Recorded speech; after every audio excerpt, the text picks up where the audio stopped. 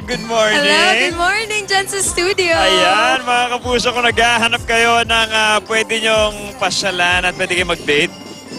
Pwedeng, Pasyal at date. Date. Okay. Oo, pwedeng pwede kayo pumunta dito sa San Fernando, La Union. Napakaganda. Ang ganda ng Christmas decorations nila this year. At katulad nga na sinabi ni Ate Rhea, first time nila show ha, na ganito kabongga ang kanilang Christmas Tama. setup. Sobrang excited ako na puntahan dito ang tinatawag nilang Pasko sa Kapitolyo dahil ang kanilang Kapitolyo dito, punong-puno naman talaga ng Christmas At decorations. syempre, patok na patok rin ang kanilang Arc of Lights. Ito nga, kinatatayuan natin ngayon. May haba po itong ah, 120 meters Wow. and actually 40 arcs. 40 arts. Binilang po namin yan Binilang isa-isa. namin, one, two, three, Oo. four, five. Ilakad namin ni Show. HHWW. Yan. While counting. While counting. Siyempre, may mga kasama tayong ah, Christmas parade. Oo. And mascots. Yes, din meron silang tayong mga tinatawag na characters. lagoon lights. Mm-mm.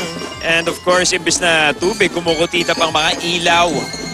Grabe, napakaganda. Oo, at saka syempre, once yung mapapansin mo, di ba, pag meron talagang Christmas decorations, especially Christmas parade, nag-iiba yung feeling ng isang city, di ba, ng isang lugar. Yes. Parang mas na-excite kayo lalo na maging mag-celebrate ng Christmas. Alam mo pa, bukod sa ating parade, bukod sa mga mascots na makikita natin dito, kanina, sabi mo sa akin, magsha-shopping tayo dun sa Christmas village nila. Magsha-shopping tayo dyan mamaya. Nako, Joyce, alam mo, sobrang worth it ng biyahe natin dito dahil ang, ah, ito pa lang, ah, yung mga Christmas decorations pa lang nila and Oh. everything is for free. For free, libre, Libre. libre. Matagal pa ang ah, sweldo ko. Oo. Kaya pwedeng pwede tayo mag-ikot mamaya pagkatapos natin umere. Tama. Alam mo, Wansho, ito yung isa sa pinakabonggang napuntahan natin. Sa lahat ng marami nating napuntahan na mga Christmas decorations, this will have to be one of my favorites bukod sa fact na I can share it with you. Pero kung gusto nyo pong puntahan yan, it's open at 5 p.m. till 12 midnight. Pwedeng pwede. Oo, pwedeng pwede lang Pwedeng puntahan. pwedeng puntahan. Hapon hanggang gabi. Yes. So kung gusto nyo mag-coffee-coffee in the afternoon